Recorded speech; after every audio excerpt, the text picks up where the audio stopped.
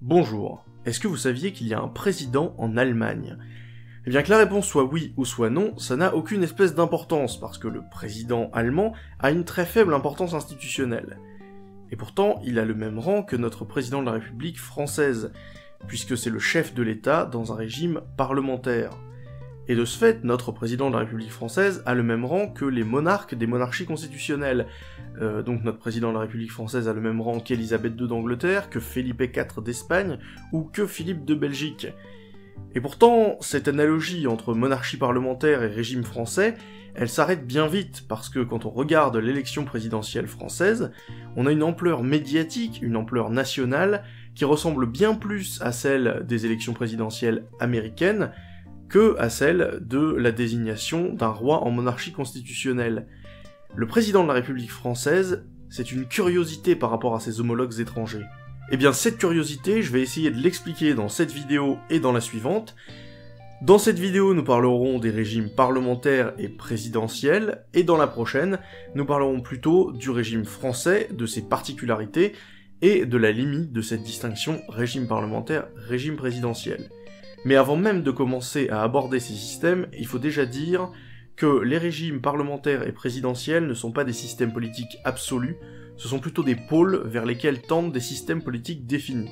Donc aujourd'hui, ce qui va nous intéresser, ce sont les régimes politiques. Mais on peut pas tout aborder, alors on va se concentrer sur les régimes de séparation des pouvoirs. Euh, dans ces pouvoirs, on n'abordera pas le judiciaire, alors qu'il aurait sa place dans cette vidéo. Euh, mais dans cette vidéo, on ne va pas parler non plus donc des régimes qui ne sont pas des régimes de séparation des pouvoirs. Euh, dans ces régimes-là, je vais quand même en dire deux mots, euh, on a des administrations qui sont soumises à un pouvoir détenu par un certain nombre de personnes.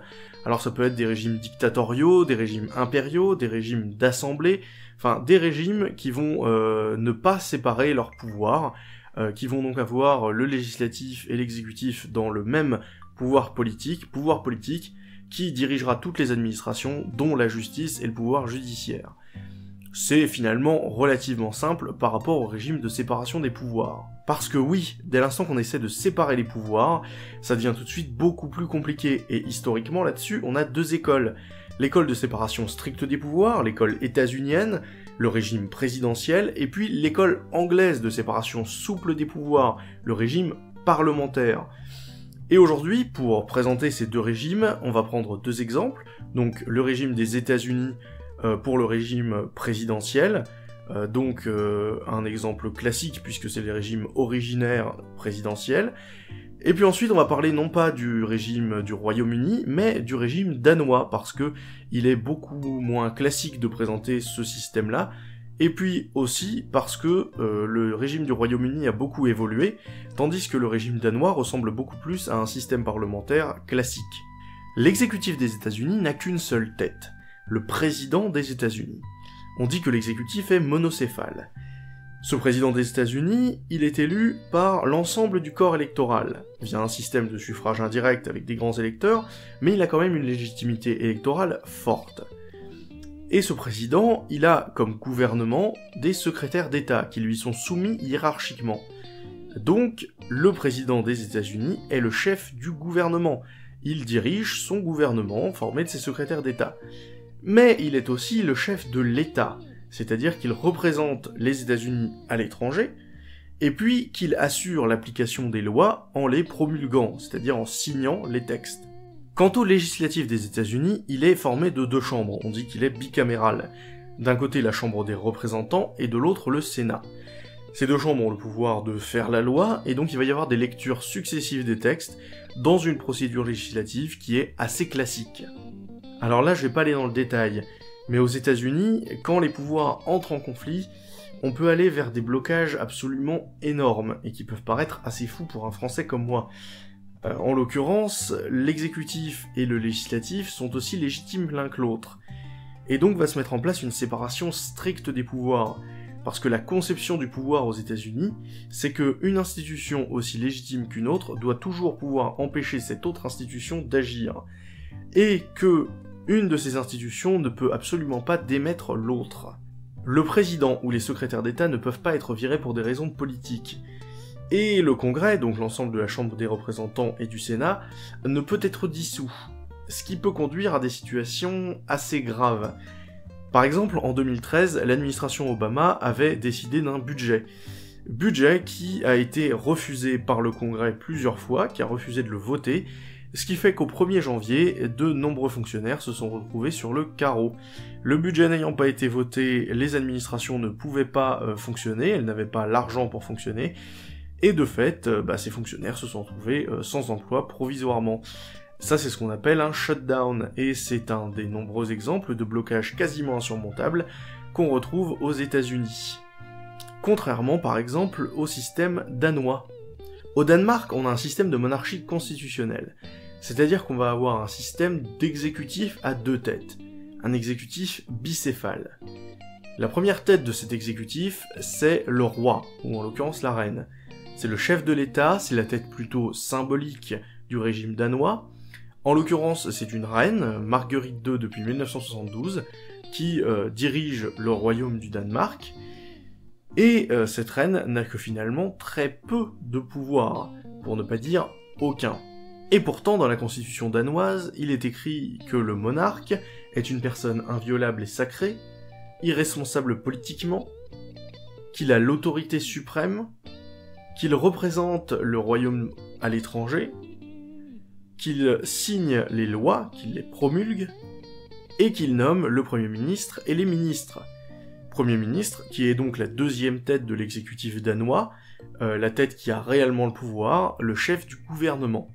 Parce que tout ce que peut faire le roi selon la Constitution, il ne peut le faire qu'avec l'accord du législatif. Et le législatif danois, c'est une seule assemblée, le Folketing. Euh, d'ailleurs, c'est assez rare pour être souligné que euh, un législatif soit formé d'une seule assemblée.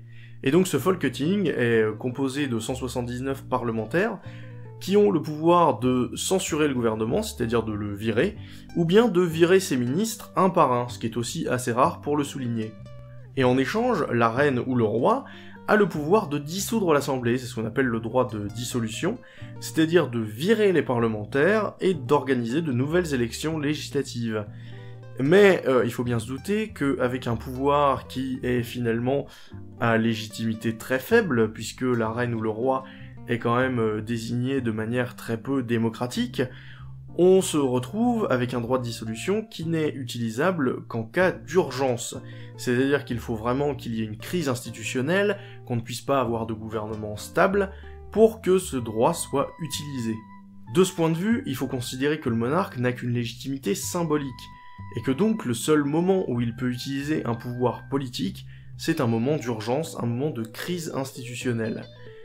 Et ça, c'est le fonctionnement classique des régimes parlementaires ou des régimes de séparation souple des pouvoirs. En réalité, dans ces régimes, le Parlement a énormément de pouvoir sur le gouvernement. Euh, il induit finalement sa nomination, même si dans la Constitution c'est le monarque qui nomme le gouvernement, eh bien finalement c'est parce que le Folketing accorde à ce gouvernement sa confiance. Mais si le Folketing décide de n'accorder sa confiance à aucun gouvernement parce qu'il n'y a aucune cohésion en son sein, eh bien le monarque se retrouve dans un cas de crise institutionnelle qui fait qu'il peut utiliser son droit de dissolution et provoquer de nouvelles élections législatives pour permettre la mise en place d'un gouvernement et donc de résoudre la crise institutionnelle. Et c'est ça finalement la séparation souple des pouvoirs. Si le Parlement est d'accord pour virer le gouvernement, il le fait.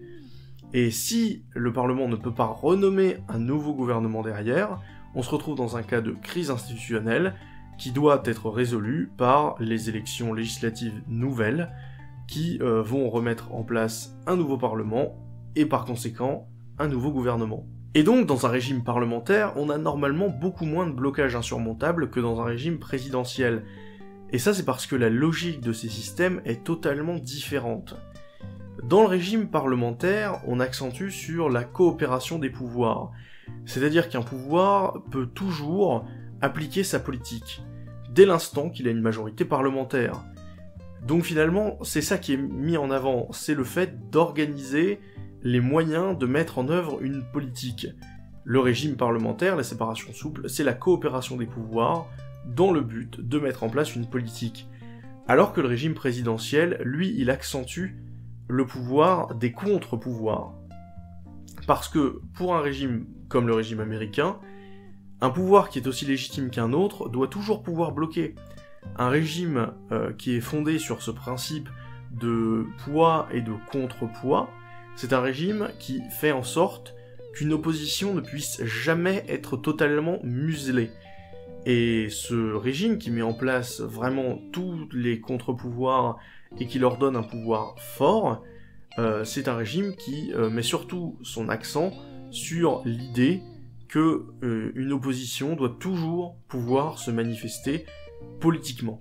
Et alors, malgré ces logiques qui sont finalement assez opposées l'une à l'autre, on a quand même des tendances, c'est-à-dire que, par exemple, le pouvoir législatif est tenu par un très grand nombre de personnes qui vont être élues de manière souvent assez directe, donc ils vont avoir une légitimité électorale forte, euh, mais euh, dont euh, le vote de chacun des individus va être dilué dans un nombre.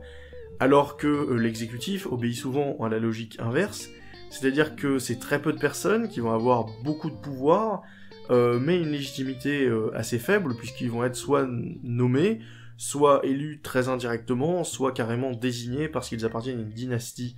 Et ça, c'est vraiment des traits communs au régime de séparation des pouvoirs, qu'il soit parlementaire ou présidentiel. Et c'est là qu'on peut se poser la question de la 5ème République française dans tout ça. Eh bien sachez que la 5ème République française, ce sera le sujet de la prochaine vidéo. Euh, j'espère que celle-ci vous aura plu. Euh, dans la prochaine, nous verrons donc le régime français, et puis nous verrons aussi les limites qu'on peut apporter euh, au système de classification par régime, donc régime parlementaire et présidentiel. En attendant la suite, portez-vous bien, et au revoir.